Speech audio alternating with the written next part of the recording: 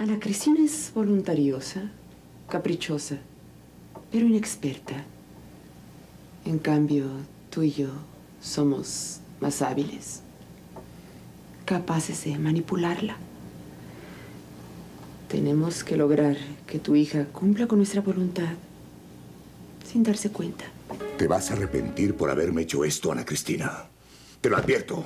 Si te niegas a vender esta finca, me obligarás a hacer algo que te hará infeliz toda la vida. Más vale que reflexiones antes de que sea demasiado tarde. Vende esta finca. O tendré que vender algo que te va a doler mucho. Jamás la venderé. No la vas a vender. Muy bien. Tú te lo buscaste. Te vas a arrepentir para toda la vida. No me importa. No le tengo miedo a nada. Ni siquiera a ti. Me avergüenzo de haber tenido una hija como tú.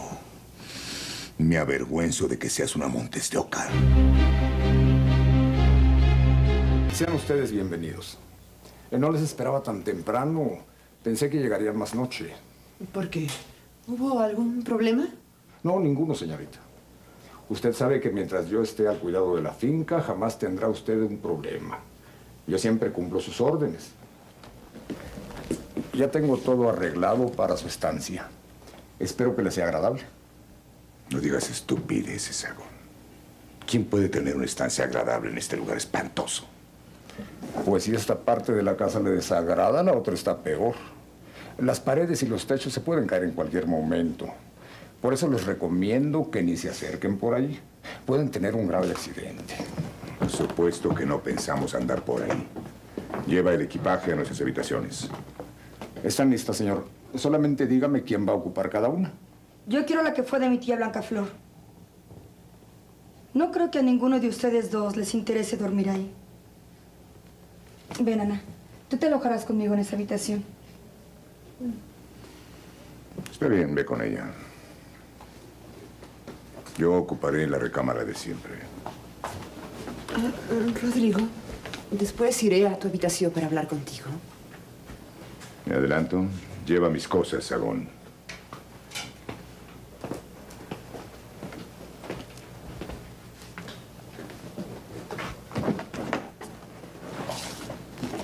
¿No te da gusto que estemos tan cerca, Matildita? Podríamos vernos muy seguido. ¿Ella? ¿Dónde está? Encerrada, como siempre. No te preocupes. No va a dar ninguna molestia. Nunca debimos volver aquí. Nunca. No podré vivir tranquila hasta que nos vayamos.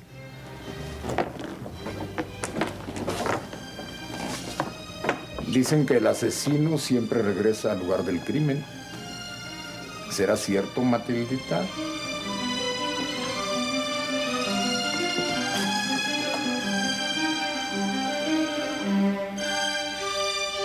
Tranquilízate, Rodrigo. Esas explosiones tuyas no te van a llevar a ninguna parte. Ana Cristina se va a someter a mis órdenes. Solo eso me faltaba. Podrás lograr todo lo que quieras, pero con otra actitud. Así solamente provocas que se encapriche más y no podrás convencerla. Ya sabes lo terca que es.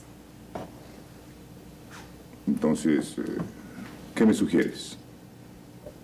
Lo que Isabel te sugirió una vez. Paciencia y habilidad. Ana Cristina es voluntariosa, caprichosa, pero inexperta.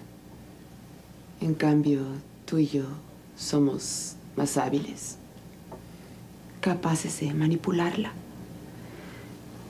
Tenemos que lograr que tu hija cumpla con nuestra voluntad sin darse cuenta.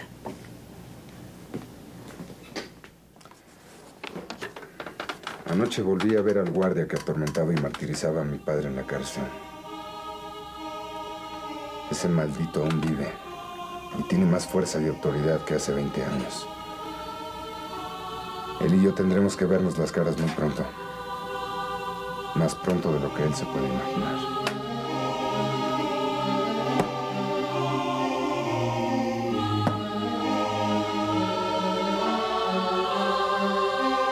¡Cumplan con lo que les dije! Si se atreve a tocarnos, le pesará. No se interponga. impida que cumpla con mi deber. ¡Yo soy la autoridad! Usted no es más que un títere del gobierno porfirista, que navega por donde más le conviene. Yo lo conozco muy bien, y conozco también su manera de ejercer la justicia. Usted es un asesino. ¿Qué dije?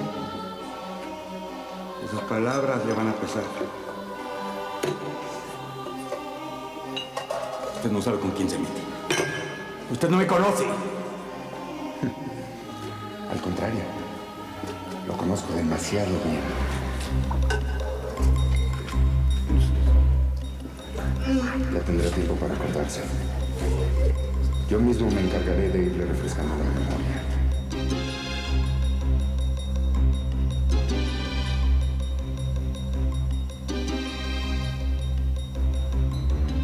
Yo lo conozco. He visto antes esa cara. Pero ¿en dónde?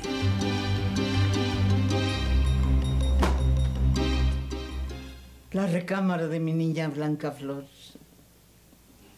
Hace muchos años yo también llegué a dormir aquí.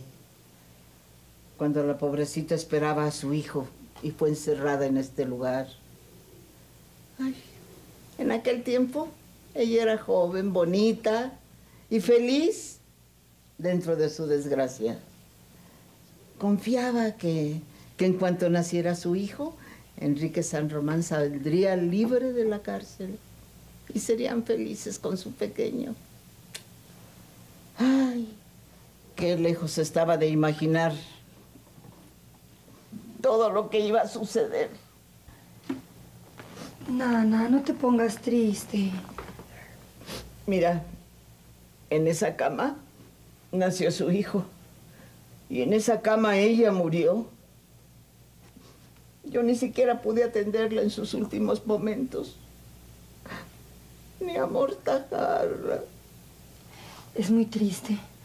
Pero por tu bien trata de no recordar, Nana. Ya estamos aquí.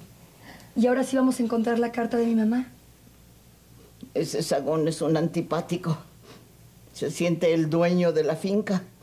Mira que ponerse a decirnos por dónde podemos andar y por dónde no. Ese cuento de que la casa se está cayendo son mentiras. La casa está mal por el abandono, pero no ofrece ningún peligro. Yo la he recorrido infinidad de veces. Y las columnas que la sostienen están fuertes, hasta en los pasadizos. Oye, ¿cuándo la recorriste? Ay, pues cuando... ¿Ya guardaste tu ropa? Ana Cristina, te estoy hablando.